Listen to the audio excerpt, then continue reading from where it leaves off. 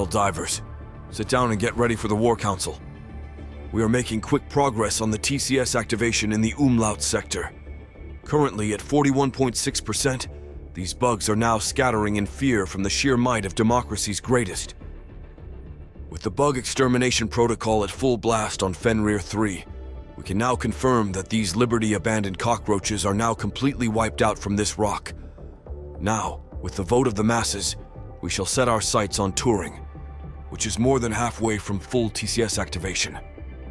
This is commendable work, soldiers. We are nearly halfway from the complete obliteration of these wretched ticks from this quadrant. After we have liberated Turing, the Council has decided that we shall focus on Meridia next. Then, last would be Erata Prime.